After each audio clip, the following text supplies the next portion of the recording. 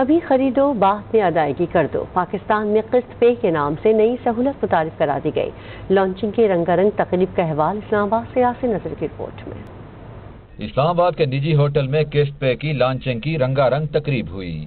سی ای او قسط پے کا کہنا تھا کہ قسط پے کی ابھی خریدو، بعد میں ادائیگی کرو سروس کا مقصد ملک میں ای کامرس کا فروغ دینا ہے۔ ہیڈ آف آپریشن میاں انوان الدین نے کہا کہ قسط پے کے آسان پلیٹ فارم سے صارفین پندرہ سو روپے سے لے کر پینتیس ہزار روپے کے درمیان قیمت والی مصنوعات خرید سکیں گے۔ کوئی انٹرسٹ چارج نہیں کرتے، کوئی ایڈیشنل چارجز نہیں ہیں۔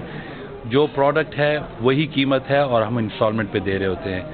تو یہ بیسکلی پاکستانی عوام کے لیے ایک نئی سہولت ہے، ایک نیا پروسیس ہے جو کہ انٹرنیشنلی تو تھا بائی ناؤ پے لیٹر کے نام سے۔ لیکن پاکستان میں یہ پہلی بار انٹروڈیوس ہوا ہے، جس سے کافی زیادہ عوام کے لیے آسانی ہوگی۔ ان مصنوعات میں کپڑے، جوتے، فیشن کا سامان اور الیکٹرانک سمیت دیگر اشیاء شامل ہیں، جو اقساط پر بآسانی میسر ہوں گی۔ ملک یاسر نظر، آج نیوز اسلام آباد۔